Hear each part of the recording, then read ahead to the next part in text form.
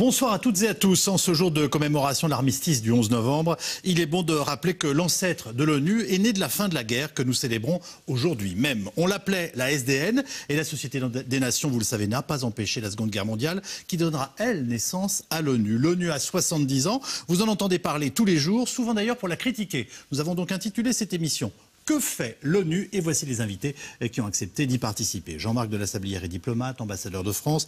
Vous avez été représentant permanent de la France au Conseil de sécurité. Votre dernier livre, Le Conseil de sécurité des Nations Unies, ambition et limites euh, chez Larcier. Puis je rappelle aussi Dans les coulisses du monde aux éditions Robert Laffont. Le général Dominique Trinquant est lui ancien chef de la mission militaire française auprès des Nations Unies. Vous avez euh, collaboré à l'ouvrage sur le Conseil de sécurité que je viens de citer. Chloé Morel est historienne, chercheuse associée à l'École normale supérieure. Vous êtes une spécialiste des Nations Unies. Citons deux de vos ouvrages, Une histoire des idées des Nations Unies et Une histoire de l'UNESCO. Chez l'Armatan, enfin Camille Grand est lui aussi spécialiste des relations internationales. Vous dirigez la Fondation pour la recherche stratégique et êtes membre du Conseil consultatif pour les questions de désarmement euh, à l'ONU. Euh, dites-moi, alors c'est un machin ou pas, euh, Jean-Marc de la Sablière? Je cite le général de Gaulle pour commencer cette émission. Ah, le général de Gaulle a dit qu'effectivement que c'était un machin. Je pense, si vous voulez, que le machin ou l'organisation était assez profitable finalement à la France. Et ce qui est intéressant. Il a donc été injuste dans son je commentaire. Pense a été profitable. Oh, il a été à l'époque, vous savez, il était, c'était l'époque de la décolonisation et de l'Algérie. Donc, euh, je ne suis pas certain convaincu non plus que le général était un grand multilatéraliste, si on peut dire. Mais euh, l'institution, ce qui est intéressant, c'est pourquoi est-ce que 70 ans après, les Nations Unies, au fond, ont survécu? Mhm. euh, Et c'est une vraie question, et sans doute euh, parce que elles rendent des services et, sans doute aussi parce qu'elles se sont adaptées, ce qui ne veut pas dire qu'elles ne sont qu'elles ne doivent pas être critiquées ici ou là, parce qu'elles quand même elles, en, quelques mots, quels sont les plus grands services rendus? Je vous demande d'en choisir deux ou trois.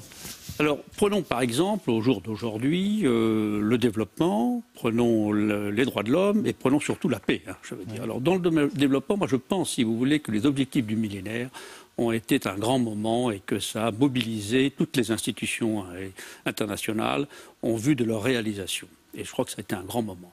Je crois que les textes qui ont été euh, euh, qui ont été votés, qui ont été adoptés, les grandes conventions sur les droits de l'homme après la Déclaration universelle, sont quand même également une référence remarquable.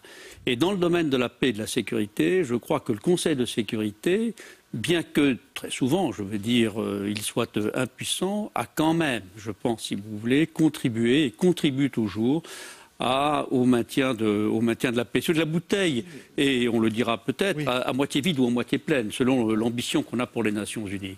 Vous, venez de me dire, on est bon dans le domaine des idées, et euh, de temps à autre, on évite la casse. Excusez-moi de le dire aussi brutalement, mais je, voilà. Et comme et, je le disais en ce début d'émission, beaucoup de ceux qui nous regardent ce soir perçoivent les insuffisances de l'ONU dont ils connaissent ou comprennent mal le fonctionnement. Et on va être là aussi pour essayer de tenter de l'expliquer. Hein, mais vous, vous comprenez quand même ces critiques? Tout à fait elles sont fondées. elles, sont, elles, sont, elles sont fondées, je veux dire, dans certaines circonstances, et je ne sais pas si on parlera par exemple de l'affaire du Rwanda, mais dans certaines circonstances, il y a eu des, plus que des insuffisances, il y a eu des, échecs. Euh, et dans d'autres, il y a eu des grands succès. Euh, on va aussi essayer de les détailler. Euh, finalement, quelle est la mission de l'ONU, Chloé Morel? C'est à l'historienne que je vais poser la question. La mission de l'ONU, c'est d'assurer la paix dans le monde. Mhm mais pas seulement, aussi le progrès social, le plein d'emploi, donc euh, une action en faveur du développement économique et social et aussi culturel. C'est pour ça que l'ONU quand elle a été créée en 1945, a vu aussi la création de plusieurs agences spécialisées, comme l'UNESCO, qui a une réussite aujourd'hui, c'est sa liste du patrimoine mondial, qui est un label de prestige mondialement reconnu.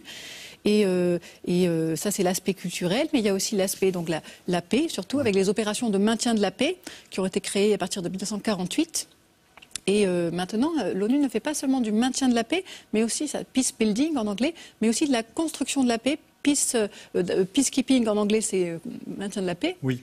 Et peace building, c'est la, construction, de la paix, mmh. avec, en étant dans le pays à long terme, en aidant à la préparation d'élections, au rétablissement d'une démocratie pérenne, etc. Je prends stricto sensu la première définition que vous nous avez donnée et qui est parfaitement exacte, c'est-à-dire que l'ONU est née pour le maintien de la paix. Là, on est obligé de vous dire c'est raté. Euh, alors c'est un peu moins que la SDN, qui elle n'a pas empêché la Seconde Guerre, euh, euh, la seconde guerre mondiale, mais je, il semble difficile de l'aborder autrement. On est, on est, d'accord là aussi, je pense même si ça ne suffit pas que de, critiquer en ces termes. Une des raisons, c'est le, le veto en fait, qui est un peu une entorse au caractère démocratique de l'ONU. Mhm. Parce que, par exemple, prenons. Vous voulez parler du fonctionnement du Conseil de sécurité qu'on va décrire ensuite. Hein. Parce que pendant la guerre d'Algérie ou la guerre du Vietnam, bah, l'ONU a été. Euh, inactive en fait parce qu'il y avait la menace du veto de la part des États-Unis dans un cas, de la France de l'autre. Et donc ça, ça, neutralise les actions possibles pour éviter des, massacres ou des guerres meurtrières. Je termine mon, tour de table. Euh, est-ce qu'on ne lui en demande pas trop, Camille Grand, à cette ONU? euh, c'est ça aussi le problème. Les Nations Unies, le Conseil de sécurité sont des organisations à la fois indispensables et assez dysfonctionnelles par, par moment. Donc euh, on est dans quelque chose qui est... Euh, à la fois indispensable et qui ne fonctionne pas. Ça peut paraître paradoxal, vous comprenez? toujours. C'est-à-dire qu'on est finalement, il y a d'énormes attentes vers, les Nations Unies, les Nations Unies. Très souvent, on se tourne vers les Nations Unies. C'est le cas pour les opérations de maintien de la paix, quand mmh. personne d'autre ne veut s'en occuper. C'est-à-dire quand les, mmh. les, puissances régionales, les organisations régionales sont incapables de prendre en charge une crise. Et donc, les Nations Unies héritent souvent des, crises les plus difficiles, dans les conditions les plus compliquées, et elles arrivent quand même à faire souvent euh, la différence. Euh, aujourd'hui, l'essentiel des crises africaines, par exemple, euh, sont traitées par les Nations Unies. C'est même devenu un peu trop une spécialité des Nations Unies. Euh, la plupart des opérations de maintien de la paix se passent euh, euh, sur le continent africain et réussissent quand même, dans beaucoup de cas, à prévenir, empêcher des situations de, massacre ou la reprise d'un conflit très important. Je pense à la République du Congo, par exemple, qui a été le théâtre d'un des conflits les plus sanglants des mmh. dernières décennies. Il y a aujourd'hui la plus importante opération de maintien de la paix des Nations Unies en République démocratique du Congo. Et euh, ça permet une forme de stabilité. Ça ne veut pas dire qu'il n'y a pas des ruptures de cessez-le-feu, des violences, etc. Mais c'est une contribution importante à l'appel à la sécurité. Je vous ai remarqué l'aspect paradoxal de votre première réponse, et on pourrait dire d'ailleurs d'une certaine façon que le paradoxe, il est même dans l'intitulé. Organisation des Nations Unies, les nations sont tous sauf unies. Alors, quand les nations sont désunies, euh, les Nations Unies fonctionnent mal. Euh, on est, on est dans quelque chose où, au fond, et c'est en particulier vrai des membres permanents du Conseil de sécurité, Prenons la crise syrienne. Le veto euh, russe répété sur cette crise fait qu'aujourd'hui, les Nations Unies ne peuvent pas euh, faire beaucoup plus qu'un travail de médiation difficile et qui n'aboutit pas euh, en l'absence d'un mandat clair euh, du Conseil de sécurité pour intervenir très directement dans, l'affaire syrienne. Avant qu'on fasse un retour historique avec notre premier reportage, on lui en demande trop Je vous pose la question aussi à vous qui avez été un acteur par définition dans votre, dans votre travail général. Pour répondre à votre question, je emprunterai les paroles d'un ancien secrétaire général des Nations Unies qui disait Les Nations Unies ne sont pas faites pour nous mener vers le paradis, mais pour nous empêcher d'aller en enfer. Et je crois qu'il faut se souvenir de cela. Euh, les Nations Unies euh, sont imparfaites, comme les peuples des Nations Unies, et euh, nous empêchent d'aller en enfer. Et c'est probablement la bouteille à moitié pleine qu'on doit voir. 24 octobre 1945, l'ONU succède à la SDN euh, et rentre ainsi dans l'histoire 51 États membres et un Conseil de sécurité, 193 aujourd'hui, plus deux observateurs, le Vatican et l'autorité palestinienne. L'ONU aura été un terrain d'affrontement de la guerre froide et qui peut-être lui a permis de le rester. Après 2200 résolutions, euh, le grand projet du XXIe siècle est de réformer notamment le Conseil de sécurité pour le rendre plus efficace. Laurent Hirsch et Joël Lefebvre. J'ai le grand honneur d'ouvrir la 70e session annuelle de l'Assemblée générale des Nations unies. Aux côtés de Ban Ki-moon, le responsable en chef de l'ONU, le 15 septembre dernier, la 70e Assemblée générale annuelle des Nations unies est déclarée ouverte. Une session qui, je l'espère, sera vraiment historique. Obama, Hollande, Poutine, des jours durant, les représentants de toute la planète se succèdent à la tribune.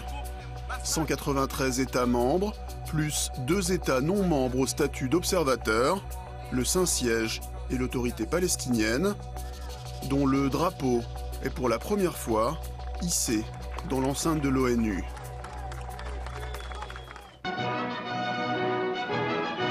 Les Nations Unies. L'expression apparaît en 1945 à la toute fin de la Seconde Guerre mondiale lors de la conférence de San Francisco.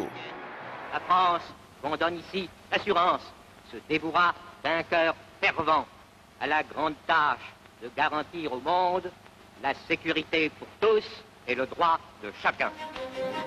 Octobre de la même année, l'ONU voit le jour. Elle compte alors 51 États membres. Objectif, le maintien de la paix dans le monde en tirant les leçons du fiasco de la Société des Nations. Cette fois, les grandes puissances créent un Conseil de sécurité Première intervention en 1948, L'ONU envoie 220 observateurs en Palestine. La délicate mission des casques bleus ne fait que commencer. Corée, Suez, Liban, Congo, Sinaï puis Chypre, les missions se poursuivent plus ou moins couronnées de succès. Nikita Khrouchtchev arrive à l'ONU après être allé chercher dans un petit hôtel de Harlem un compère en la personne du barbu Fidel Castro, le nouveau maître de Cuba. Pendant la guerre froide, les Nations Unies restent quasiment paralysées, Khrouchtchev et les représentants communistes manifestant parfois bruyamment leurs désaccords. Durant cette période, l'ONU a au moins le mérite d'être un forum de discussion. Après son départ, le New York Times titrait Khrouchtchev est reparti les mains vides. Il avait néanmoins traité Eisenhower de fou, le représentant des Philippines de sauteur et l'Assemblée des Nations Unies de vieux crachoirs. Fin de la guerre froide, les Nations Unies sont rapidement confrontées à l'horreur. En Bosnie puis au Rwanda, l'échec des casques bleus fait pleuvoir les critiques sur l'institution internationale. 2003, l'Irak, Saddam Hussein et les armes de destruction massive concentrent toutes les attentions. Le Conseil de sécurité est alors le théâtre d'une passe d'armes restée dans les mémoires. Dans un futur proche, nous devrons décider si nous avons atteint, oui ou non, le moment où le Conseil de sécurité devra se prononcer sur les graves conséquences liées à la résolution 1441. C'est un vieux pays. La France d'un vieux continent comme le mien. L'Europe, qui vous le dit aujourd'hui. Dans ce temple des Nations Unies, nous sommes les gardiens d'un idéal. Nous sommes les gardiens d'une conscience.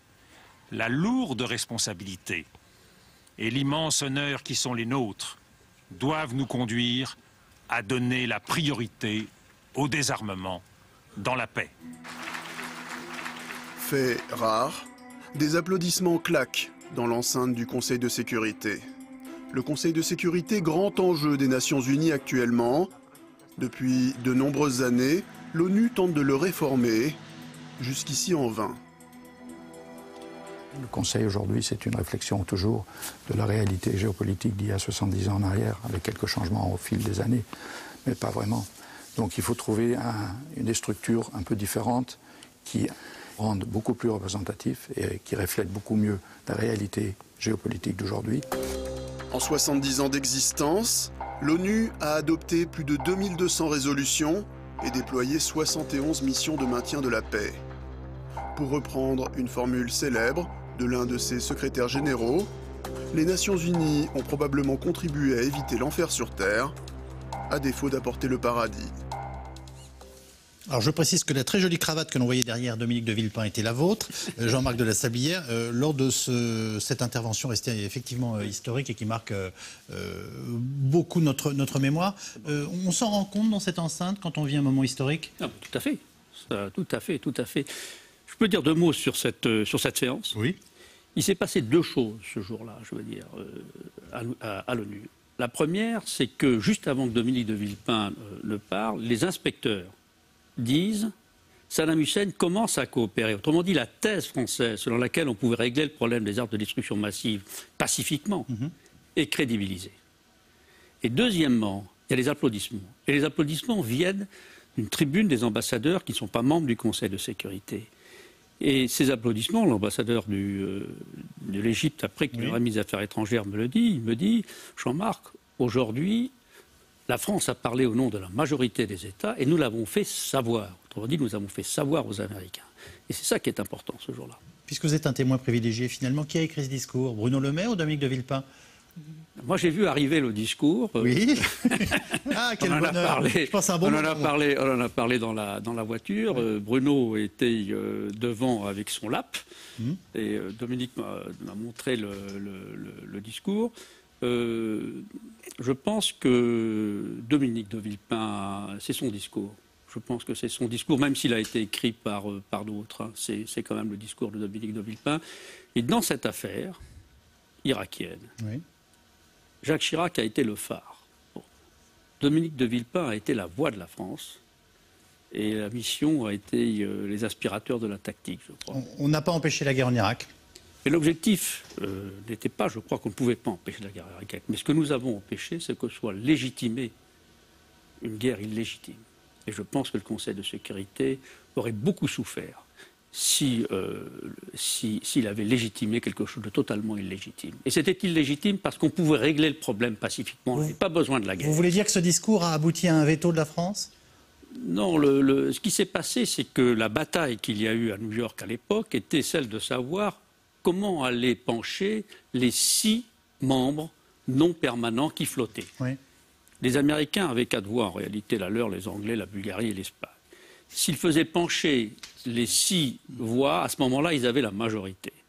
Et bien sûr, la France, la Russie auraient mis un veto, mais ils avaient la majorité. Or, toute l'action que nous avons menée à l'époque a fait que les Américains, malgré toutes les pressions, malgré toutes les pressions, ont achevé au bout de deux mois le parcours avec quatre voix. Jean-Marc de la Sablière, cet exemple passionnant que vous venez de nous faire vivre et qui est à l'honneur de la France montre que l'ONU ne marche pas puisqu'elle n'a pas empêché de, euh, la, guerre d'avoir lieu. Alors je vais vous dire que l'ONU... Je dirais qu'on ne peut pas se, satisfaire uniquement du fait, même si on a des raisons de le faire, de se dire on a eu raison avant les autres et en plus on a fait un beau discours. Regardons la charte. Même si c'est un très beau discours. Regardons la charte.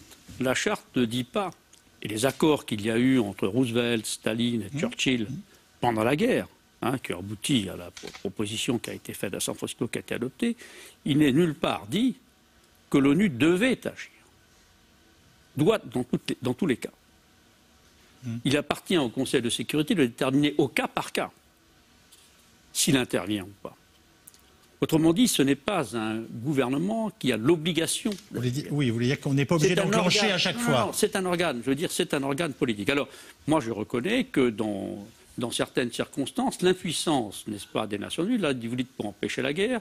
Vous prenez par exemple les affaires de Palestine où les Américains ne veulent pas que le dossier soit traité euh, aux Nations Unies, ou aujourd'hui l'affaire syrienne euh, qui, est, qui, est, bloquée, euh, nous rappelle quoi? Nous rappelle que pour que le système fonctionne, et c'est ce qu'ont voulu les fondateurs, il faut qu'il n'y ait pas de désaccord entre les permanents. C'est ça qui a été prévu, et ça qui a été prévu avant San Francisco. On en parlait du veto à San Francisco.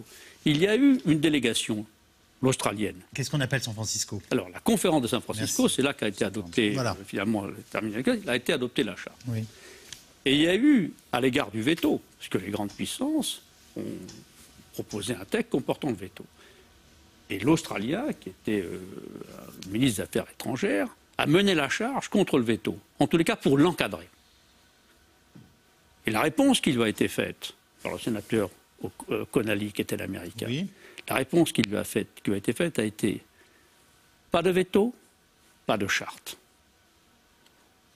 Autrement dit, la charte est bonne pour l'ensemble des États, mais vous devez la prendre avec le veto. Tel quel. Tel quel. D'où la question SMS euh, de ce, cette, première partie d'émission. Pourquoi la réforme du Conseil de sécurité n'a-t-elle pas avancé depuis 20 ans Alors, est-ce qu'on peut essayer de répondre à tout ça?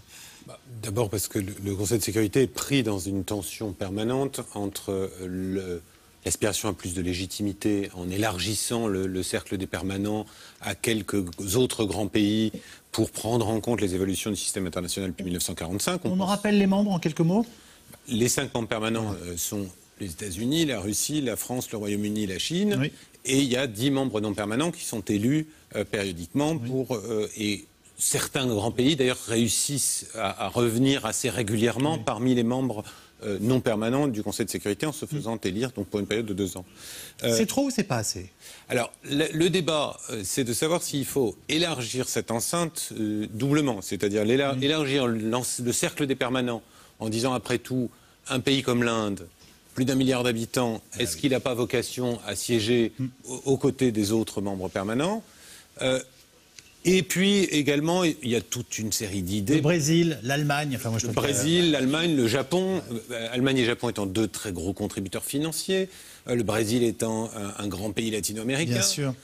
La grande difficulté dans ce processus, et toutes les idées ont été agitées, testées, mises sur la table, c'est une fois qu'on a ouvert la porte à un pays euh, ou deux pays, euh, comment, euh, qui, est le suivant sur, sur, le seuil? Et on le voit par exemple pour la question latino-américaine. L'aspiration du Brésil paraît légitime, grand pays, très peuplé, influent sur la scène internationale. Argentine, grand pays.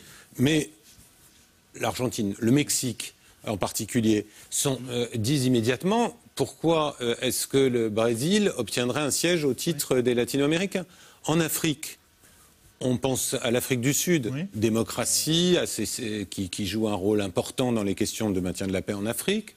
Mais le pays le plus peuplé, c'est plutôt le Nigeria, mhm. euh, qui est moins stable, mais beaucoup plus peuplé.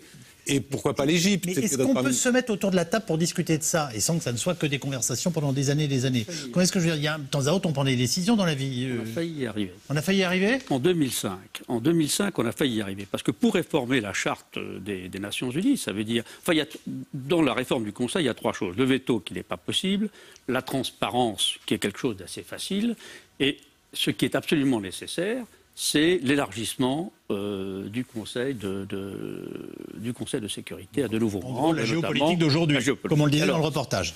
Pour réformer la charte, il faut une majorité des deux tiers des États, mhm. et à la fin, la ratification, puisque c'est un amendement à la charge, doit être faite par la majorité des deux tiers des membres et les cinq permanents. Autrement dit, le veto des, des permanents n'apparaît qu'à la la fin. Donc, les quatre, l'Allemagne, euh, l'Inde, le Brésil et le Japon ont essayé en 2005 de lancer les choses. Et euh, elles avaient obtenu 100 voix en dehors de l'Afrique. Il fallait 128 voix pour lancer les choses. Il y a plus de 50 États africains.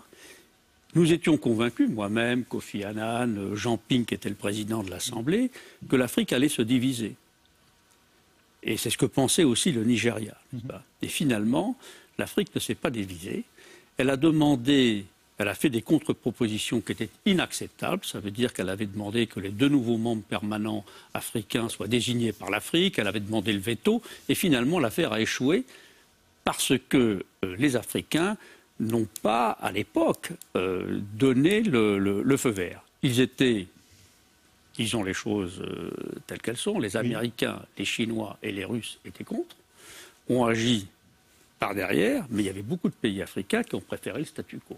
Alors, euh, Chloé Borel, on a envie de vous dire, là, du coup, si, ça marche difficilement à 5, pourquoi ça marcherait mieux à 6, 7 ou 8 euh, C'est vrai que la question apparaît bloquée. En fait, Kofi Annan, pendant ses deux mandats, s'est beaucoup investi pour qu'aboutisse cette réforme du Conseil de sécurité, mais euh, pour l'instant, ça n'a pas abouti. Mais je reviens sur le reportage où il était dit que la SDN a échoué. Je voulais dire qu'il y a eu des choses qui ont réussi aussi dans la SDN. Par exemple, le passeport Nansen, qui a permis à des millions de réfugiés de se déplacer librement euh, par-delà les frontières. Euh, et c'est quelque chose qui peut faire écho à la situation actuelle aujourd'hui. Concernant les migrants. Donc euh, il y, y, a des succès quand même. C'est vrai qu'il y a des blocages, mais il y a des succès. Pour la question de la paix, il y a le, traité de non-prolifération en 1968 qui a permis d'éviter des, explosions de bombes atomiques, etc. C'est le traité le plus ratifié, le traité de l'ONU quasiment le plus ratifié par un très grand nombre d'États. Donc voilà, c'est vrai qu'il y a cette question de la réforme du Conseil de sécurité qui bloque, mais il y a quand même des succès de l'ONU malgré tout. Mais est-ce que ça n'est pas ça le plus grand succès justement de l'ONU pour l'instant C'est d'avoir évité que la guerre froide devienne une, une guerre chaude, si je puis dire. Qu'en pensez-vous oui. je, crois, qu'il y, a un statu quo avec une auto-neutralisation d'un certain nombre de pays pour l'élargissement du Conseil, un, jeu derrière les rideaux probablement d'un certain nombre de grands pays qui ne voient pas euh, l'élargissement se passer comme cela, et euh, la certitude que diriger à 15 est déjà très compliqué. Avec 5 permanences, c'est très compliqué. Les Américains le disent souvent, 25, voyons l'Europe à 28, le consensus, etc. Les choses ne sont pas dirigées. Donc euh, euh, il y a quand même une grande, grande difficulté à faire coller la réalité du monde de 1945 au monde euh, de 2015 aujourd'hui. Ça ne veut pas dire qu'il ne faut pas tenter, il ne faut pas essayer. Mais on, on le voit bien, entre le Nigeria, l'Afrique du Sud, le Brésil, le Mexique, le Japon, la Chine, l'Inde, il y a des difficultés permanentes et en fait, et en fait aujourd'hui, un certain nombre de ces grands pays qui sont non permanents reviennent régulièrement. C'est-à-dire qu'ils ont un tour qui fait qu'ils reviennent tous les euh, quatre ans globalement et tournent. Donc euh, ils ne sont pas permanents, mais ils sont présents de façon euh, presque continue. On ajoutera qu'à migrants que le monde aujourd'hui est beaucoup plus éclaté qu'à l'époque où on avait les deux grands blocs, notamment pendant la guerre froide. C'est une, des difficultés du, monde d'aujourd'hui et c'est ce qui rend d'ailleurs la gestion des crises internationales en général beaucoup plus difficile. C'est une difficulté par certains côtés, c'est un soulagement par d'autres. Non, mais dans, la gestion de la paix et de la sécurité, c'est-à-dire que l'idée selon laquelle un accord entre Américains et Soviétiques permettait de traiter une mm. crise ne fonctionne pas aujourd'hui. On le voit sur la crise syrienne. Le rôle de pays comme l'Iran, la Turquie ou l'Arabie saoudite est également important pour essayer d'aborder ce, ce, type de crise. Donc on est dans cette tension entre un monde d'une certaine manière plus démocratique, mmh. avec plus de pôles euh, de, de, puissance, d'influence sur les affaires internationales, et en même temps, euh, ce qui génère aussi euh, de, de, nouvelles formes de tension qui font qu'on ne peut pas se contenter d'un accord entre Moscou et Washington, euh, avec euh, la France qui, de temps en temps, fait entendre sa, sa voix. À terme, il y a un problème de crédibilité pour le Conseil. Moi, je suis absolument convaincu. Je ne crois pas qu'aujourd'hui, il y a un problème de crédibilité pour le Conseil. Je ne crois pas qu'aujourd'hui, les grandes puissances émergentes, le Brésil par exemple, oui. et l'Inde, et encore, elles sont sur le plan économique, elles commencent à devenir globales, mais pas sur le plan politique. Mais cela arrivera bientôt. Et il y a un problème de crédibilité pour le Conseil, et notre intérêt à nous, Français, est qu'on réforme le Conseil de sécurité. Parce que si on le réforme, on le réformera pour 50 ans, pour 60 ans. On a intérêt à ce que cette institution conserve une certaine crédibilité. Ah. Et donc il faut faire la réforme. Je vais y revenir, il faudra que vous nous donniez votre clé pour la réforme. Hein. On va d'abord euh, découvrir euh, le deuxième reportage de cette émission, car, de cette émission, car je, je l'ai déjà dit au moins plusieurs fois, il faut bien se rendre compte, euh, et en tout cas aller à l'évidence, l'ONU n'empêche pas les conflits. Alors certains de nos invités euh, nous ont dit depuis le début de l'émission qu'elle n'était sans doute pas là pour ça, mais quand même, euh, les États membres trouvent toujours et visiblement de bonnes raisons de se faire la guerre. la Russie n'a demandé l'autorisation de personne pour mettre la main sur la Crimée en Ukraine. Elle intervient en Syrie au nom de la solidarité entre alliés, comme le font d'ailleurs les Américains en Irak. Quant à la France, elle invoque la légitime défense pour bombarder les positions de Daesh ou intervenir au Mali. Yacine Mili nous en dit plus. Le Burundi, un pays au bord de l'implosion. Là-bas, depuis que le président a fait modifier la constitution pour pouvoir briguer un troisième mandat, la situation est devenue incontrôlable. Les violences sont désormais quotidiennes. Face à l'urgence, la France vient de demander une intervention de l'ONU. La détérioration de la situation au Burundi a atteint un stade critique. L'urgence, c'est le lancement d'un vrai dialogue inclusif national entre le gouvernement et toutes les parties euh, pacifiques burundaises. Ce dialogue, euh, il n'aura lieu qu'avec le soutien de toute la communauté internationale, la région en premier lieu, et en particulier la communauté d'Afrique de l'Est, euh, mais aussi les Nations Unies. Les Nations Unies, un pompier de moins en moins sollicité. Un peu partout dans le monde, les guerres fleurissent sans même que les pays n'aient obtenu l'autorisation de l'ONU pour intervenir. Parfois, les États n'hésitent pas à interpréter eux-mêmes des résolutions internationales. Exemple au cœur de tous les débats, la Syrie. Depuis un an, la coalition menée par les États-Unis cherche à éradiquer les positions de l'État islamique. Pour Washington, les autorités syriennes sont illégitimes, donc pas besoin de la permission du Conseil de sécurité. Le président Obama a été clair. Il ressent et assume la responsabilité pour que notre pays agisse. Nous ferons tout pour essayer d'éviter la destruction totale et complète de la Syrie et toutes les conséquences négatives qui pourraient en découler. Pour justifier son implication dans cette guerre, la France, elle, met en avant la légitime défense. Au nom de la légitime défense, puisque Daesh prépare depuis la Syrie des attentats contre la France. Nous frappons Daesh et tous ceux qui, au sein de Daesh, quelle que soit leur origine ou leur nationalité, ont décidé de frapper la France. Plus prudente, l'ONU, quant à elle, préfère toujours éviter de jeter de l'huile sur le feu. J'espère sincèrement que nous arriverons à des résultats rapides et nets. Il n'y a pas de solution militaire, comme je l'ai toujours dit. Le mois dernier, la Russie a décidé elle aussi de bombarder la Syrie. Officiellement, ces avions visent les positions djihadistes. Le Kremlin aurait reçu une demande d'aide officielle de la part du régime de Damas. La Russie est dévouée à combattre le terrorisme sur la base du droit international. Que l'on parle d'une opération militaire aérienne ou terrestre, elles doivent être conduites en accord avec le gouvernement ou avec le Conseil de sécurité de l'ONU. Mais un peu plus près de chez eux, les Russes n'ont pas eu besoin d'autorisation. En annexant la Crimée ukrainienne l'an dernier, la Russie a violé tous les textes fondamentaux des Nations Unies. Zéro argument, zéro légitimité. La Russie s'est tout simplement installée. Nous sommes forcés de combattre les troupes entraînées et armées de la Fédération de Russie. De l'artillerie lourde et des équipements militaires sont concentrés dans les territoires occupés en quantité telle que les armées des États membres de l'ONU pourraient en rêver. Mais les interventions discutables ne viennent pas toujours d'ailleurs. La France est elle-même intervenue sans attendre l'aval de l'ONU. C'était au Mali en 2013.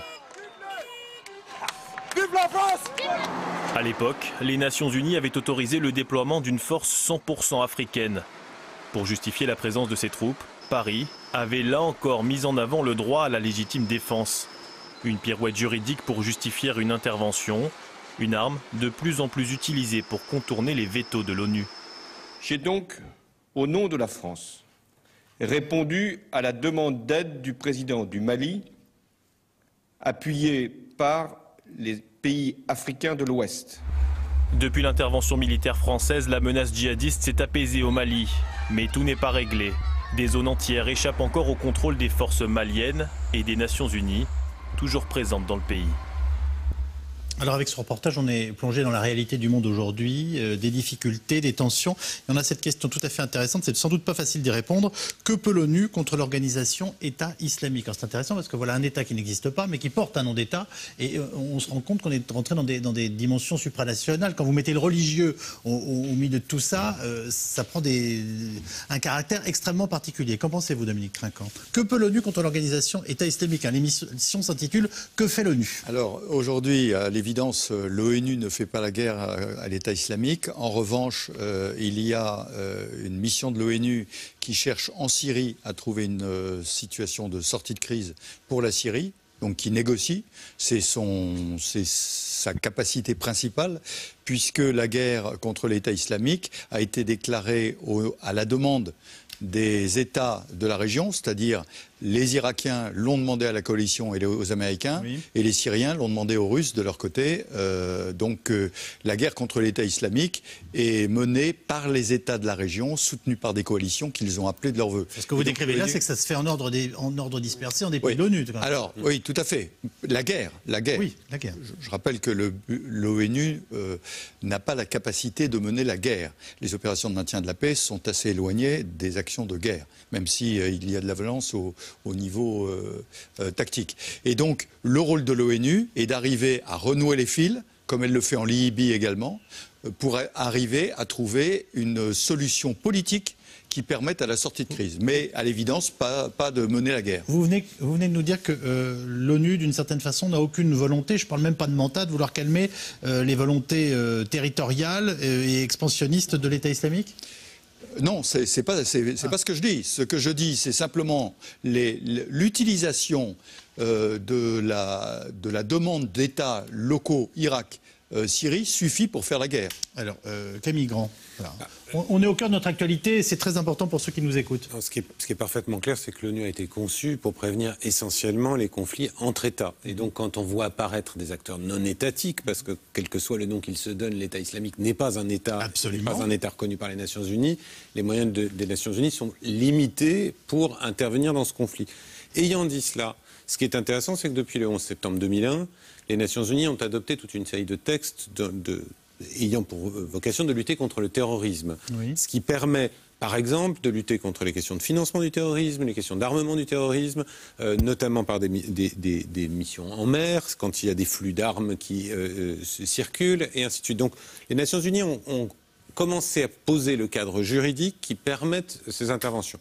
Ensuite, chacun. L'État islamique semble ne manquer ni d'armes ni d'argent. Hein il l'a trouvé sur place, mais aujourd'hui, nourrir l'État islamique en, armes ou en argent est une violation des textes des Nations Unies tels qu'ils sont aujourd'hui. Donc il y a quand même quelque chose qui prévient une chose importante, qui serait une assistance très directe apportée par des États membres des Nations Unies euh, euh, à Daesh.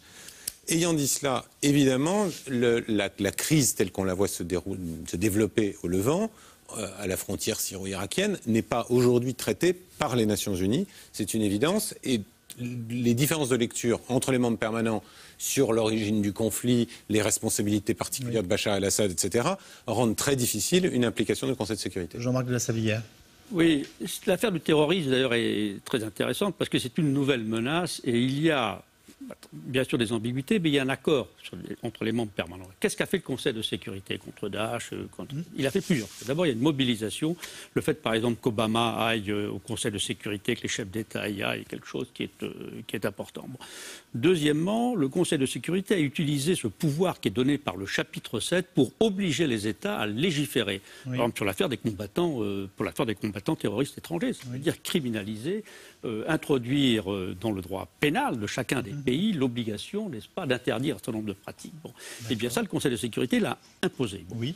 Il y a également, euh, et on faisait référence à la question du financement, c'est une résolution russe d'ailleurs qui est à l'origine d'une obligation qui est faite aux États, n'est-ce pas, de ne pas commercer avec Daesh, n'est-ce pas Donc il y a l'idée, n'est-ce pas, qu'il faut absolument essayer de restreindre le financement de, Daesh. Et enfin, ce que fait les Nations Unies, c'est qu'il y a une liste, n'est-ce pas, de, terroristes et d'institutions terroristes, et ceux qui sont sur cette liste se voient à la fois geler leurs avoirs et interdits de voyager. Autrement dit, il y a une action qui est menée par les, Nations Unies et chacun des États doit, dans sa législation, agir en conformité à cette action. Jean-Marc de la on imagine un instant un scénario du pire. Euh, que l'État islamique, que Daesh puisse un jour euh, s'installer euh, et prendre le pouvoir dans un des pays les plus fragiles de la région. Est-ce qu'il aurait son drapeau qui flotterait, donc devenant effectivement, est-ce qu'il aurait son drapeau qui flotterait à l'ONU? Non, bien sûr que non, Ce qui se passe sur la question de l'usage de la force actuellement, c'est que parce qu'il y a un désaccord, en fait, en réalité, dans l'affaire syrienne entre les permanents, personne ne conteste à l'autre le droit euh, d'intervenir, une espèce de non-dit. Nous, nous avons choisi la légitime défense. Les Russes disent c'est Bachar al-Assad, n'est-ce pas, qui nous appelle. de venir. Les Américains ont toujours considéré, ce que nous ne faisions pas autrefois, qu'on pouvait faire jouer la légitime défense contre des acteurs non étatiques. Nous, autrefois, nous ne considérions que ce n'était pas possible, mais on est face à Daesh qui est un quasi-État, n'est-ce pas? Et donc, nous, l'avons, euh, nous avons invoqué la légitime défense. Nous ne l'avons pas fait dans l'affaire du Mali. Hein. Dans l'affaire du Mali, c'est nous avons considéré que le gouvernement malien nous avait demandé de... C'est en tout cas ce que nous expliquait le président de la République à la télévision. exactement. Euh, Chloé Morel. Oui, euh, si on prend la, perspective historique, en fait, on constate que pendant la guerre froide, il y a eu assez peu d'opérations de maintien de la paix. Il n'y en avait pas plus de 15. Et c'est depuis la fin de la guerre froide qu'il y en a beaucoup plus, maintenant plus de 60 au total, depuis le début. Mhm. Et euh, parce qu'il y a de plus en plus de conflits intra-étatiques, comme au Mali, mais aussi des conflits transétatiques, comme la menace de Daesh. Et je crois que l'ONU est bien armée en tant qu'organisation mondiale pour agir sur ces conflits, euh, ces, enjeux transnationaux comme le terrorisme, mais aussi la mafia qui dépasse les frontières, ou encore euh, le trafic d'armement, comme on disait, ou même les épidémies avec l'OMS, maintenant les épidémies circule et la santé euh, s'envisage au niveau mondial. Donc voilà, l'ONU a un rôle important à jouer. On, vous suivrait euh, volontiers euh, si on avait entendu l'ONU d'une quelconque façon nous parler de la situation des réfugiés. Alors les réfugiés? Alors, euh, pas oui. oui, mais je vous pose la question à vous, puis je vais faire mon tour de table. Alors, euh, l'ONU, elle a une que grande... Fait, que fait l'ONU euh, concernant les migrants? En fait, l'ONU, elle a une grande expérience en matière de gestion des réfugiés, parce que de 1948 à 1952, il y avait l'Organisation internationale des réfugiés. C'était une agence de l'ONU. Elle employait des milliers d'agents, des milliers de personnes, et elle a géré des millions de réfugiés. Elle a permis leur réinstallation après la dévastation de la Seconde Guerre mondiale. Mais en 1952, elle a cessé d'exister parce que les États-Unis ne voulaient pas qu'elle continue à exister et ils ont favorisé la création de l'Organisation internationale des migrations, qui existe aujourd'hui, mais qui est en dehors du système de l'ONU. Donc les États-Unis ne voulaient pas permettre à l'ONU de euh, continuer à jouer un rôle pour, euh, pour les réfugiés. Bah, j'ai envie de vous dire, est-ce que l'ONU est présente à Calais? La réponse, on la connaît, c'est non. Donc voilà, en matière de réfugiés, on peut créer X structures euh, plus ou moins euh, nécessaires. Je, ne vois pas que ce soit, et puis y avoir quelqu'un derrière son téléviseur qui a l'impression que l'ONU soit active dans cette, ce bouleversement assez important qu'on connaît en ce moment avec les migrants. Le commissariat aux réfugiés Est-ce que, est que l'ONU est à Lampedusa Faut être à Calais. L'ONU à Lesbos, non. Est en Jordanie, est au Liban, est en Turquie, aux côtés des réfugiés à la frontière syrienne. Euh, mais là aussi, les Nations Unies ne font que ce que les États leur permettent de faire. Moi, j'ai visité les camps de réfugiés en Jordanie. Le drame de ces camps de réfugiés, c'est qu'ils sont massivement sous-financés parce que les États ne mettent pas l'argent qu'il faut au commissariat aux réfugiés pour accueillir ces réfugiés et leur donner des conditions dignes d'accueil. Ce qui fait que ces réfugiés en Turquie, au Liban ou en Jordanie n'ont qu'une idée, c'est de quitter ces endroits, on, leur, on les invite à vivre avec 20 dollars par mois, hein, c'est le, le, chiffre, et à essayer euh, de, de, survivre dans des conditions qui sont assez misérables, même si l'engagement du Haut Commissariat aux réfugiés des Nations Unies et euh, des organisations gouvernementales qui est présente est assez extraordinaire au plan humain euh, sur le terrain.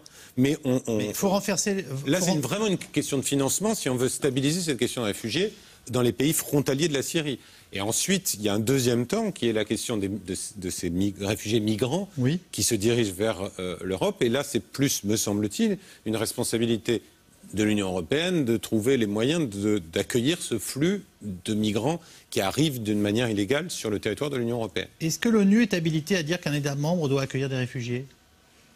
C'est un bon thème de. Ban Ki-moon a, appelé euh, les pays européens à accueillir les réfugiés. Il a fait un appel. Il a dit qu'il correspondait à la définition du réfugié qui avait été faite justement euh, avec la Convention de 1951.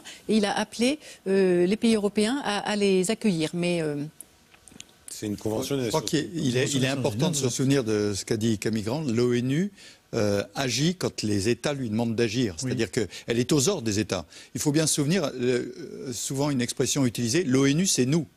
C'est pas le machin, c'est pas le truc qui est là-bas. L'ONU, c'est nous. Et donc, le, quand l'ONU a des fonctions comme s'occuper des réfugiés, elle est capable de dire à l'Union européenne qu'il faut s'en occuper. Lorsque d'autres pays ont des difficultés, comme en Jordanie ailleurs, elle va gérer ces affaires-là. Mais au sein de l'Union européenne, puisque vous citiez Lampedusa et ces endroits, ce sont les États eux-mêmes qui s'en occupent. Et donc l'UNHCR, à ce moment-là, a un rôle euh, limité, puisque les États et l'Union européenne doivent s'en charger. Il faut renforcer l'UNHCR? Il faut lui donner les moyens. Oui. Lui donner certainement, certainement, c'est notre intérêt, c'est lui donner les, moyens. ce que je peux revenir à Daesh, le, le problème que nous avons actuellement, c'est que on voit qu'à travers ces actions militaires euh, qui sont menées, on arrive à contenir. Mais on ne peut pas régler le problème. Mmh. Et le règlement du problème de Daesh, malheureusement, ou je ne sais pas si on peut dire malheureusement, passe par le règlement de l'affaire syrienne. On ne pourra pas à la fois tous se tourner euh, vers euh, contre contre Daesh tant qu'il n'y aura pas eu un accord, n'est-ce pas, sur la sur, sur la question sur la question sur la sur la Syrie.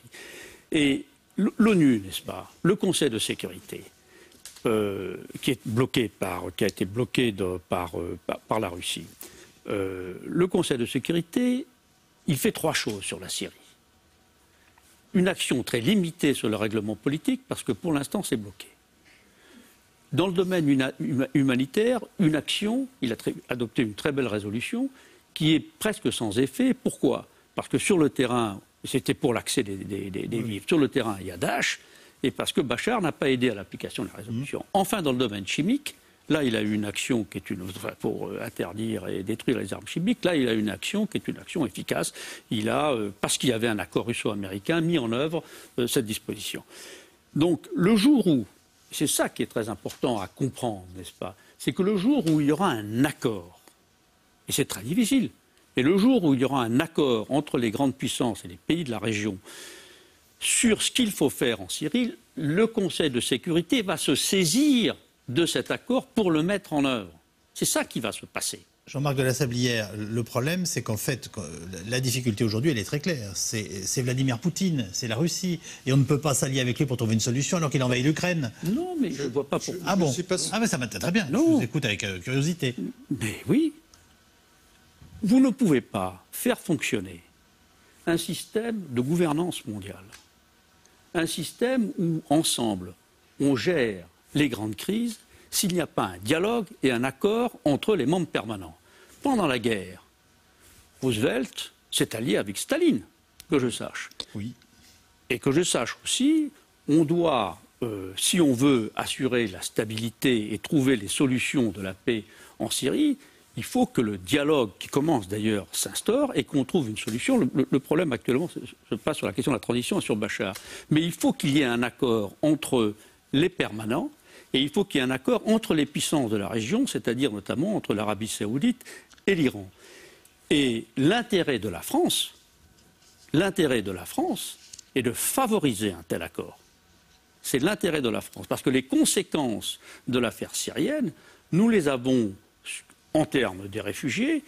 Et s'il y avait un éclatement de la Syrie, eh bien, je peux vous dire que nous en subirions, nous aussi, Européens, les conséquences. Un mot de Dominique Trinquant et on part euh, découvrir notre dernier reportage. Oui, euh, en ma qualité de, militaire de l'Assemblée, euh, l'action militaire est en appui de la diplomatie. Et ce que vient de dire Jean-Marc Sablière sur l'issue politique et l'accord qu'il doit avoir les partis nous permet de dire qu'il ne faut pas dire qu'on ne peut pas avoir d'accord à cause de Poutine. C'est le seul aujourd'hui qui militairement a construit son action du niveau tactique, opératif et stratégique, avec une manœuvre diplomatique qu'il mène à Vienne, avec une manœuvre stratégique dans la région de Syrie et tactique en étant en appui de Bachir al-Assad. On peut contester. Simplement, on dit toujours qu'on ne gagnera la guerre que s'il y a des troupes au sol. Or, lui, il appuie des troupes au sol. Donc, il fait exactement ce qu'il faut faire pour gagner la guerre. Alors, où en sont les casques bleus aujourd'hui? Eh bien, l'ONU a déclenché 71 euh, missions de la paix depuis sa création. L'une des plus anciennes, il s'agit de la FINUL, la force intérimaire des Nations Unies euh, au Liban, de moins en moins intérimaire, hein, puisqu'elle est active depuis 1978. 10 000 casques bleus, originaires de 39 pays, sont déployés le long de la ligne bleue, euh, ligne de démarcation entre Israël et le Liban. François-Xavier Rigaud, Mathieu Vibo.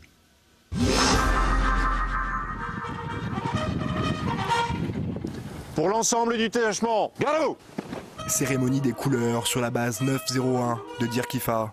Attention pour les couleurs Envoyez Un hommage au drapeau pour un triste anniversaire. Aujourd'hui, 32 ans plus tard, au Liban, nous honorons la mémoire de nos 58 camarades parachutistes. 23 octobre 1983, à 6h22 du matin, un camion bourré d'explosifs réduit en poussière le bâtiment rebaptisé le Drakkar, occupé par des parachutistes français de la force multinationale des Nations Unies. Malgré les pertes subies, malgré les doutes et parfois les découragements devant l'ampleur de la tâche, la France se tient plus que jamais aux côtés du Liban. Nous en sommes les garants. Nous, les soldats français de la FINUL. La FINUL, la force intérimaire des Nations Unies au Liban, est active depuis 1978. C'est l'une des plus anciennes missions de la paix des casques bleus. Ici, nous sommes donc euh, à la base de Nakura, donc l'état-major euh, commandant donc ces 39 nations et euh, ces 10 000 hommes qui sont présents au sud du Liban. 10 000 casques bleus de 39 nationalités, dont 850 Français, répartis dans tout le sud du Liban, le long de la Blue Line, la ligne de démarcation entre le Liban et Israël, longue de 122 km. La traversée de Sirifa, Yankee 48, ici même, environ 2 km à l'ouest de l'infinité, pourrait susciter quelques tensions. Donc, encore une La mission de ces casques bleus, assurer le respect du cessez-le-feu entre deux pays en guerre. Ça sera 2 VBL. Ouverture du feu en cas de légitime défense ou sur mon ordre. Ok, pour tout le monde, embarquez.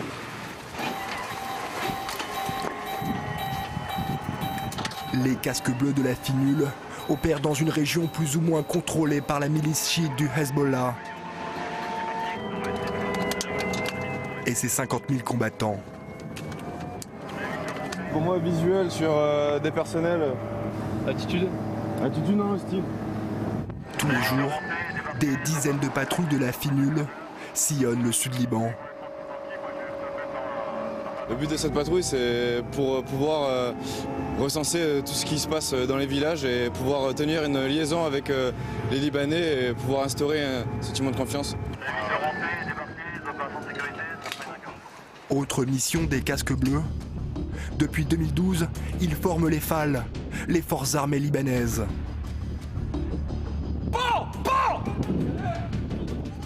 Nous menons des entraînements conjoints avec les, avec les soldats libanais qui nous permettent de, de, là de mener euh, complètement le, volet, un des volets de, cette mission qui est la montée en puissance en fait de, l'armée libanaise au sud Liban. Le budget de cette mission de la paix dépasse les 500 millions de dollars par an. Un coût indispensable, selon le chef d'état-major de la FINUL.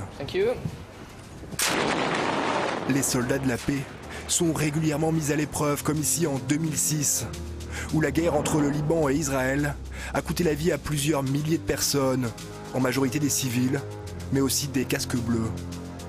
Tous les jours, nous effectuons plus de 400 opérations militaires. Et sur la Blue Line, eh c'est une zone de séparation entre deux pays qui sont encore en guerre, administrativement encore en guerre, le Liban et Israël. Vous enlevez la finule, vous avez dans cette région la situation que vous avez ailleurs, c'est-à-dire un monde en guerre où c'est la loi du plus fort qui, règne. Depuis 1978 et le début de cette mission de la paix des Nations Unies, près de 300 casques bleus, dont 112 Français, ont perdu la vie au sud du Liban. Voilà, reportage de nos envoyés spéciaux sur place, hein, François-Xavier Rigaud euh, et euh, Mathieu Vibo. Euh, rien que cet intitulé, il peut paraître paradoxal, une fois de plus, les soldats de la paix. Alors, comment on conjugue ces deux mots Comment on les fait vivre ensemble? C'est intéressant, un, sondage chez les Français il y a une quinzaine de jours marquait que l'ONU se synthétisait en deux mots pour les Français, paix et casque bleu. c'est assez intéressant. et on voit des soldats français de la finule je reciterai le même secrétaire général des Nations Unies qui disait euh, Le maintien de la paix n'est pas un travail pour les soldats, mais il n'y a que les soldats qui peuvent le faire. Euh, je, crois que c'est assez, assez symbolique de ce que représente l'ONU pour l'ensemble des concitoyens. Et pourtant, des tas d'autres missions de l'ONU ont été citées, mais qui sont beaucoup moins visibles. Mais je crois que les 16 opérations, 110 000 hommes déployés sur le terrain aujourd'hui, euh, sont là pour prouver que les Nations Unies sont là pour euh, apaiser, non pas régler les, je parle des casques bleus, hein, euh, non pas pour régler, mais pour apaiser les tensions et permettre aux politiques, lui, de trouver une sortie de crise et de régler les, problèmes. Chloé Morel Oui, ben, je crois que ce qui résume tout ce qu'on vient de constater, c'est qu'en fait, il faut renforcer l'ONU et en particulier donner plus de pouvoir aux casques bleus pour euh, leur permettre euh, d'agir efficacement. Ça veut dire quoi donner plus de pouvoir aux casques bleus C'est intéressant comme idée, mais... Eh bien, par exemple, désormais, il y a, ils, sont autorisés à employer la force dans certains cas. Voilà, alors qu'au début, euh, il n'était pas autorisé. Euh, peut-être leur donner plus de financement aussi. Euh, voilà. Et aussi, l'ONU, il y, a les opérations de maintien de la paix, mais il y a d'autres volets aussi qui sont très importants par exemple l'environnement, où, le, depuis 1972, avec la création du programme des Nations Unies pour l'environnement, l'ONU fait quelque chose de, très important et de longue haleine, mais aussi elle a d'autres missions euh, en dehors des opérations de maintien de la paix, comme euh, elle doit lutter contre l'évasion fiscale, réglementer la finance, euh, établir une taxe sur les transactions financières. Donc il y a beaucoup de choses, et, je pense qu'il faut la renforcer pour lui permettre d'accomplir sa mission. On va bien tout mettre des, casques bleus dans la cellule de dégrisement, vous savez, qui s'occupe du rapatriement de nos, nos comptes en Suisse. Juste une chose, est-ce que, je, dis ça, je ne peux pas le dire en rien, mais est-ce qu'en effet, effectivement, au départ, on a eu des soldats, tout simplement, qui se faisaient tirer comme des lapins et qui. oui, alors. Non, mais c'est important de le préciser. Parce oui, alors, j'ai commandé un bataillon au Liban et j'ai été euh, pendant assez longtemps en Yougoslavie. Et euh, je dois dire que je m'élève contre l'idée qui fait que des soldats se faisaient tirer comme des ne pouvaient pas répondre. Ça n'est pas vrai. Les règles d'engagement permettent. Vous vous défendiez Bien sûr, bien sûr. Non, mais c'est rassurant parce que l'idée est absolument. Bien sûr. Les, bien sûr. Alors, il y a eu une évolution puisqu'au début c'était uniquement en self-defense, et ensuite c'était dans l'application du mandat, ce qui est très très large quand même, l'application du mandat. Et les règles d'engagement, les règles d'engagement, euh, je me souviens très très bien. On nous tire dessus, on réagit. Bien sûr. et on l'a toujours fait. Bien sûr, mais bien sûr. Je, vous citerai un cas en Yougoslavie du commandant de la force, un général français à l'époque, interrogé par un, général, par un colonel suédois, qui lui dit J'ai un problème parce que si on tire sur ce village, qu'est-ce que je peux faire? Puisqu'il n'y avait pas la protection des populations. Et le général lui a dit C'est simple, vous installez votre, votre compagnie dans le village, comme ça vous êtes en situation de riposter. Très bien. Très concrètement, les opérations de maintien de la paix ont beaucoup évolué. Euh, des observateurs des toutes premières missions qui étaient euh, avec un pistolet à la ceinture euh, et, un, béret bleu, jusqu'aux missions, de maintien de la paix dites robustes qu'on fait aujourd'hui, qui mettent en jeu des moyens beaucoup plus importants, des moyens de renseignement. les Néerlandais au Mali ont déployé des hélicoptères d'attaque avec la mission de, casque bleu, de, leur casque bleu pour pouvoir réagir si les activités d'ACMI reprenaient. et donc on est vraiment sur des choses qui ont profondément changé dans le sens de plus de robustesse, dans le sens de plus de capacité à agir. En même temps, le cœur des casques bleus n'est pas de faire la guerre telle que la font l'armée française au Mali, euh, l'armée américaine euh, ou l'OTAN en Afghanistan. Il ne faut pas se méprendre non plus sur l'intention, l'organisation et le pourquoi de la présence des casques bleus. Exactement. Exactement. Vous voulez ajouter quelque chose là-dessus? Oui, en fait, il y a trois catégories de casques bleus. Il y a les observateurs, des forces d'interposition comme la FINUL, et puis les missions multidimensionnelles très compliquées qui mélangent, si vous voulez, le maintien de la paix et la construction de, de la paix, ce qui se passe en Mali par exemple ou euh, en RCA. La finule, c'est très, le reportage est très intéressant. Euh, en, en, 2006, oui. euh, la France et les États-Unis mettent au point euh, la résolution 1701 qui met fin à la guerre entre le Hezbollah et Israël. Et nous introduisons la finule à nouveau, à nouveau je dis, au sud de l'Italie avec un nouveau mandat. La finule, dans l'ensemble, elle a été assez efficace. Ce qu'on lui demande, là, et moi j'ai rédigé le mandat, donc je le connais assez bien, c'est d'empêcher fondamentalement les gesticulations qui conduisent à des escalades, à des dérapages et enfin à la guerre, des tirs de Katusha, etc. Oui. On ne demande pas à la finule d'empêcher, si le Hezbollah ou si Israël veut reprendre les hostilités de la guerre, bon, et de ce point de vue, donc du point de vue du, mandat, je trouve que la FINUL a été, euh, a été assez efficace. Maintenant, il y a beaucoup, le, tous les progrès qui sont réalisés, que, qui étaient évoqués euh, tout à l'heure, concernent ces forces multidimensionnelles, ces missions multidimensionnelles. Il y, en a, il y a un rapport récemment qui a été, euh, qui a été publié. Et là, je trouve qu'il y a pas mal de travail à faire pour améliorer encore, après le rapport Brahimi, il y a pas mal de choses à faire hein, actuellement. Jean-Marc de la Sablière, juste une question, je vous demande, pardonnez-moi une, une, réponse assez rapide parce qu'il va falloir qu'on prenne des questions SMS, mais est-ce qu'on a, on ne refait pas le Rwanda et Srebrenica, ça? A déjà été fait plusieurs fois dans cette émission, j'ai envie de vous dire, est-ce qu'on a tiré les enseignements du Rwanda et de Srebrenica, euh, le principe étant que tout simplement on n'est pas pu empêcher des massacres ethniques. Que répondez-vous? Je répondrai que oui, et de la Somalie. Je pense qu'il y a trois tâches. Il y a... Euh, sur nous tous, hein, je veux dire, aux Nations Unies. Ce qui s'est passé au début des années 90, lorsqu'on a lancé cette opération de maintien de la paix, souvent sans expérience, n'est-ce pas? Il y a le Rwanda, il y a la Bosnie et il y a la Somalie, pour des raisons différentes. Le Rwanda, c'est pas passivité, n'est-ce pas? Je trouve qu'en Bosnie, ce sont les États membres et l'ONU qui sont, qui sont responsables. Ça veut dire qu'il n'y avait pas d'accord politique, on a fait de l'humanitaire et on s'est fait piéger. Et en Somalie, on s'est trouvé dans des situations d'extrême violence. Il y a eu ces morts américains, vous vous souvenez, qui, les Américains sont Ça a même fait parfois des beaux films hollywoodiens, oui. Et donc, si vous voulez, je pense qu'il y a eu le rapport Brahimi qu'on a tiré les conséquences. Mais il y a encore beaucoup de progrès à faire actuellement. Hein. Il, y a encore des, il, y a, il y a pas mal de choses à faire encore dans le fort de maintien de la paix. On passe aux questions SMS. Depuis les années 1990, l'OTAN n'a-t-elle pas un peu pris le pas, le dessus sur l'ONU? Alors c'est une question qu'on peut se poser, hein. c'est pas, pas, mal ça. Il n'y a, a, pas de concurrence entre les deux organisations. Non, pas sur le papier. Pas sur le papier. Ce qui s'est passé. dit simplement qu'on est bien content de trouver l'OTAN de temps à autre. Ce qui s'est passé dans les Balkans et en Afghanistan, c'est que l'OTAN est intervenue avec, avec un mandat des Nations Unies, donc oui. n'est pas intervenu euh, de son. Oui, avec sa brupto, ça on s'est bien compris. Euh, et, et euh, pour des missions de combat et pour lesquels l'OTAN est mieux équipée. Euh, ce qui est impressionnant, c'est que l'OTAN a réussi à agréger autour d'elle plus que les membres de l'OTAN. Donc, par oui. exemple, dans la mission euh, en Afghanistan, on a plus de 50 pays participants qui participent à ces missions de combat et qui effectivement ont mis un peu de côté la mission des Nations Unies en Afghanistan, qui est une mission essentiellement civile, mais c'est comme toujours, le choix de la communauté internationale. Dominique Trinquant, puis je fais tourner les questions. Hein. Oui, non, l'OTAN, première intervention, la Yougoslavie, c'est une pièce de théâtre à l'envers. On met l'ONU quand il n'y a pas de paix, on met l'OTAN quand il y a la paix. L'inverse eût été logique. Oui. Euh, en Afghanistan, euh, bon, l'OTAN s'est retiré l'Afghanistan avec une guerre qui n'est pas une guerre gagnée. Donc je pense que chacun a son rôle. Il n'y a effectivement pas de concurrence entre les deux, mais euh, je crois qu'on se méprend sur le rôle de l'OTAN par rapport à l'ONU. L'ONU est-elle adaptée à la lutte contre le terrorisme?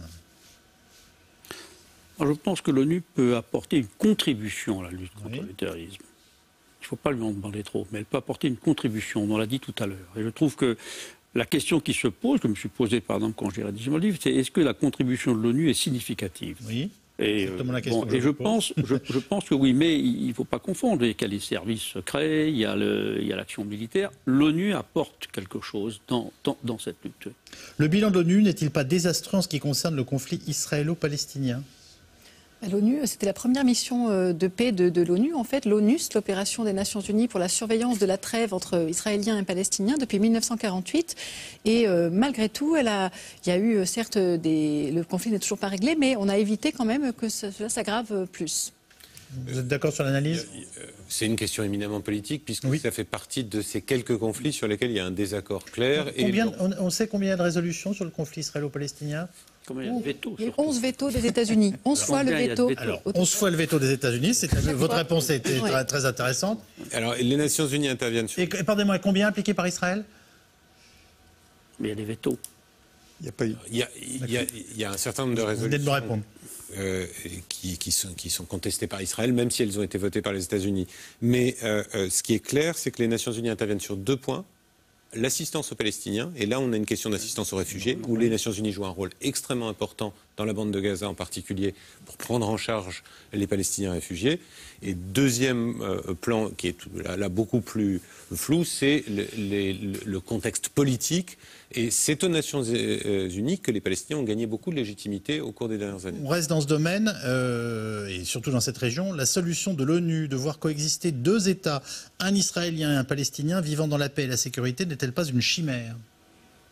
Non, c'est la condition de la paix. Il n'y aura jamais de paix s'il n'y a pas les deux États. L'UNESCO a montré la voie en, en reconnaissant la Palestine. Il n'y aura jamais de paix s'il n'y a, pas les, a pas les deux États. L'UNESCO a reconnu la Palestine en, 2011-2012 et ça c'est un pas en avant pour la reconnaissance officielle de, l'État palestinien, mais cela s'est heurté à la réaction des États-Unis qui ont retiré leur financement euh, à l'UNESCO. On revient au Rwanda. Qu'a fait l'ONU au Rwanda pour empêcher les massacres en 1994 Moi je trouve que le grand scandale dans l'affaire du Rwanda. Vous répondez à ma question. Hein Absolument. Je trouve que le grand scandale dans l'affaire du Rwanda n'a pas été que l'on ait empêché le début des massacres, en tous les cas. C'est déjà un scandale. Empêcher le génocide. Je crois, que je crois que tout le monde savait qu'il y aurait des massacres, mais personne n'imaginait ce qui s'est passé. Je trouve que le grand scandale, c'est lorsque l'on a su l'ampleur de ces massacres, lorsqu'on en a su que c'était un génocide que les Nations Unies, ça veut dire les États membres, à l'époque Conseil de sécurité, n'aient pas agi. Il y a une résolution qui a été adoptée, qui n'était même pas sous chapitre 7. On a mis des semaines pour l'appliquer, elle n'a jamais été finalement appliquée. Les gens ne voulaient pas y aller, les États ne voulaient pas y aller parce que c'était l'enfer. C'est ça le vrai scandale. Sous chapitre 7, excusez-moi, ça veut dire quoi Si vous voulez, le, c'est la possibilité d'utiliser la force. Vous voulez rajouter un Oui, non, simplement, effectivement, c'est l'absence de volonté des États de s'investir. Souvenons-nous, prévenir, euh, c'était probablement difficile parce que les gens ne voyaient pas vraiment ce qui allait se passer. Une fois que ça se passait, et c'est là la difficulté des Nations Unies, c'est que une fois un accord atteint, les Nations Unies n'ont pas d'armée. On va pas retirer la machette de la main de chaque type qui a une machette. Hein. Non, et puis, et puis, non, mais même, mais même mobiliser des forces pour les déployer, ça ne peut se faire que si des grands pays décident de s'engager. On aurait pu intervenir, me disait Jean-Marc de la Sablière. Un dernier mot là-dessus. Il y a une mission des Nations Unies qui était, qui était présente à Kigali, qui a été très débordée, hein, euh, et donc on, est dans, on est dans quelque chose qui est un échec des Nations Unies, un des échecs, un des quelques échecs vraiment tragiques, mhm. c'est-à-dire euh, euh, à la fois pour l'absence de volonté politique de faire quelque chose et dans l'absence d'anticiper, de, sentir que cette crise était en train de déraper gravement. Ce qui est intéressant aujourd'hui, c'est qu'il y a des initiatives pour essayer de prévenir la question particulière des atrocités de masse. Il y a notamment une initiative française qui est intéressante, qui est de dire qu'il serait bien que les membres permanents du Conseil de sécurité renoncent volontairement à leur droit de veto dans le cas d'atrocités de masse. Ce qui est une manière d'essayer de mettre de côté, quand on est devant une question de ce type, euh, ce droit de veto, non pas en s'en privant juridiquement, mais en ayant une sorte d'autorestriction dans ce domaine. C'est très intelligent. Euh, j'ai tendance à vous dire, ça ne marchera jamais. Mais enfin, je, ne suis, suis, pas secrétaire général de l'ONU. Comment la présence de la MINUSMA est-elle perçue au Mali? De façon diverse, parce que euh, non, mais diverse au sens où dans un premier jet, tout le monde est content de voir arriver l'ONU. Dans un deuxième jet, c'est une limite à l'autorité de l'État d'une certaine façon. Donc forcément, euh, c'est contestable. Et en 10 secondes, excusez-moi, comment est euh, informée l'ONU A-t-elle ses propres espions? Les États membres partagent-ils leurs renseignements avec elle? Il y a une très grande faiblesse, là, je trouve, du côté de l'ONU en termes de, en termes de renseignement. Les États donnent ce qu'ils veulent donner, n'est-ce pas? Mhm.